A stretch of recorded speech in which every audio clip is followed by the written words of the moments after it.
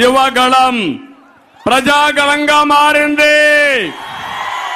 ప్రజా ఉద్యమంగా మారింది.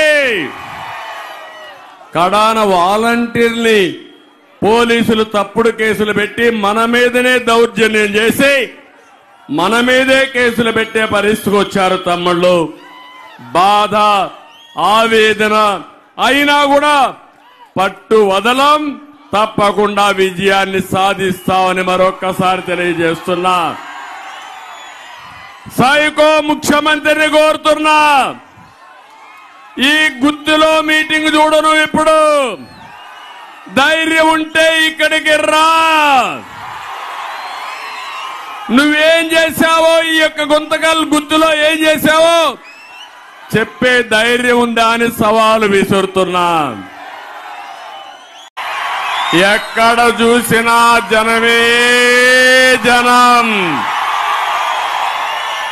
ప్రభంజనం. మిద్దెల పైన చూస్తే జనమే ముందు చూస్తే జనమే ఎంత దూరం చూసినా జనమే. ఈ ప్రభంజనంలో సైకో జగన్ పని అయిపోయిందా లేదా అని మిమ్మల్ని అడుగుతున్నా.